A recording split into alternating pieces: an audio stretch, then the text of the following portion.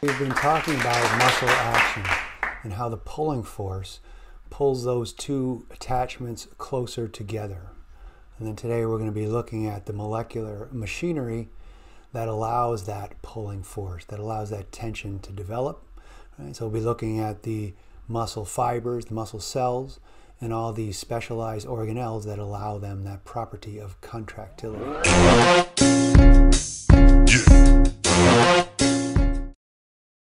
We've been focusing on and are going to continue to focus on skeletal muscle tissue, but there's two other types of muscle tissue. Cardiac tissue, which is found only in the heart, and then smooth muscle, which we'll find all over the body. And in particular, when we get to the digestive system, or the respiratory system, and the vascular system, we're going to find that this smooth muscle is lining the walls of those hollow organs. So those are the three types of specialized muscle tissue and their locations. We'll talk about their functions as we get to those organs and structures that they belong to. But now we'll get into the special characteristics that all these muscle tissue types share. And so the first property is contractility. This is unique to muscle tissue, and this is the ability to shorten and exert a pulling or squeezing force. Creating this pulling or squeezing force is the main function of muscle cells. So this property of contractility is the central characteristics. And all the other properties we'll look at are related to this property of contractility. And this is a property that's unique to muscle. The second property, which is not unique to muscle tissue, but it is central to its function, is the characteristic of excitability. That it, it responds to stimulation, for example, from the nervous system or hormonal signals. Nervous tissue is also excitable, so this is not a property that's unique, again, to muscle tissue. However, it is central to its function. So this is a property of the specialized membrane we'll see in nerve and muscle cells. Now I'm not going to test you on this, but it doesn't hurt to be familiar with the concept of an excitable membrane. Any cell we'll see is negatively charged relative to the outside extracellular fluid due to proteins and DNA for the most part, the negatively charged proteins and DNA. Muscle cells and nerve cells maintain this particular voltage through various means, and they have this specialized membrane which allows them to utilize this difference in charge to spread a wave of excitation throughout the cell membrane. And the last two properties also relate to that core property contractility, and that is extensibility, that is the fact that the muscle cells can be stretched and then contract over a range of lengths. And then the last property is elasticity, that is the ability to rebound to its original length after being stretched or contracted. This is due to some of the intrinsic properties of the muscle cell itself and also of the surrounding connective tissue layers associated with the muscle tissue.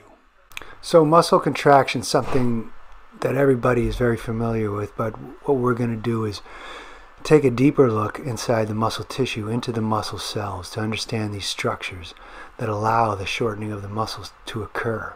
So when you're looking at the muscles contracting, you have to understand that fascicles within the muscles are contracting because cells within that fascicle are contracting, and the cells are contracting due to the specialized organelles within those cells, and that's what we'll be looking at now.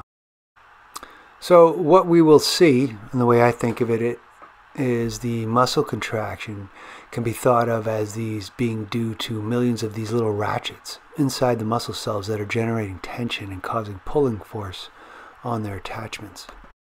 So we'll be looking at the molecular machinery that forms those ratchets as well as the other organelles and factors associated with their movement.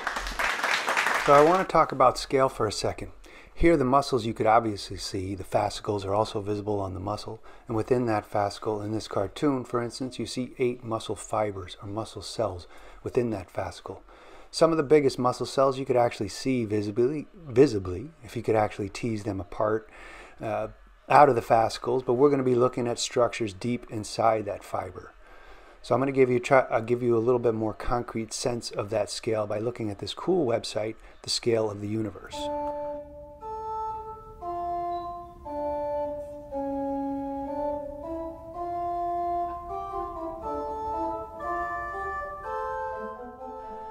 Off topic here, but those pencil leads there are about the average width of your epidermis, of your skin.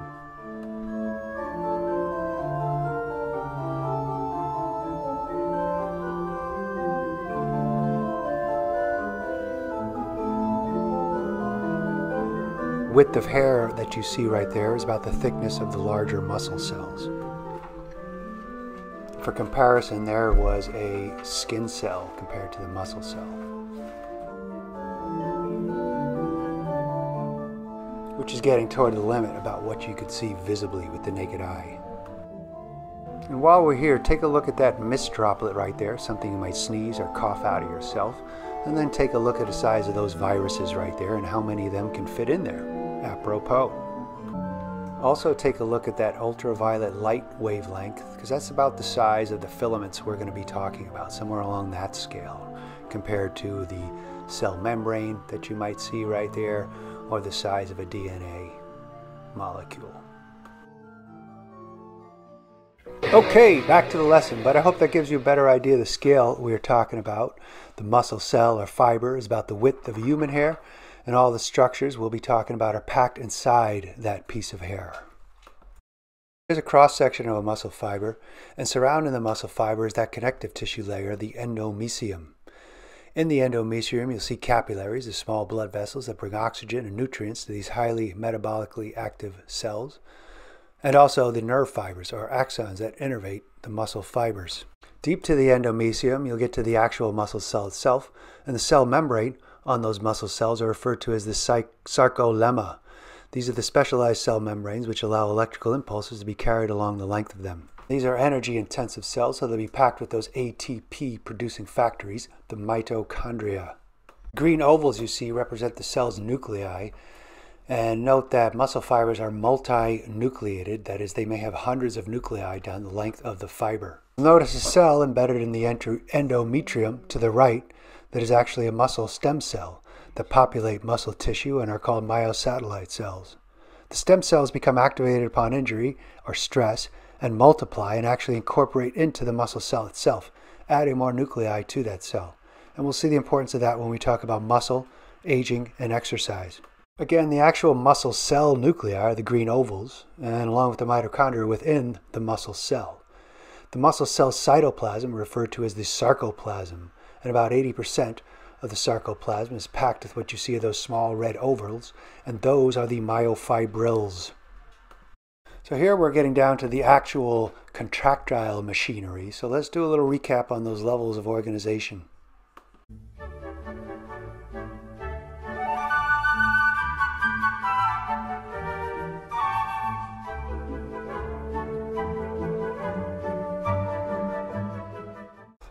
and some of the specialized organelles that are going to be involved in the movement and action of the myofibrils. A muscle cell specialized endoplasmic reticulum is called the sarcoplasmic reticulum, and this is important because it stores and releases calcium ions. Well, the sarcolemma is that specialized excitable cell membrane. Each muscle cell contains a single neuromuscular junction where the muscle cell is innervated by a nerve fiber. We'll see that an impulse spreading from that neuromuscular junction will spread throughout the sarcolemma, but it will also spread down the invaginations of those sarcolemma called the T tubules. These T tubules allow that impulse to travel deep inside the center of the muscle cell. So these are all the organelles and structures that are important in the action of the myofibrils, these structures that we're going to talk more in depth about now. Try to relate what we could see visibly under the light microscope on a muscle cell, that is the stripy pattern, to the organization of the myofibrils. And what you'll be able to see under the light microscope with these myofibers sitting side by side, you have the small purple oval that are the nuclei there, and the stripy pattern that you can see are due to the organization of the myofibrils and myofilaments that make up the myofibril.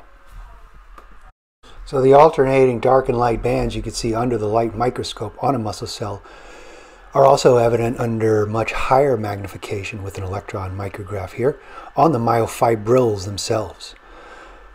Under this magnification, additional structures also are becoming evident. Below, there's a cartoon of a small section of that myofibril, which we'll be looking at in the next part of this lecture.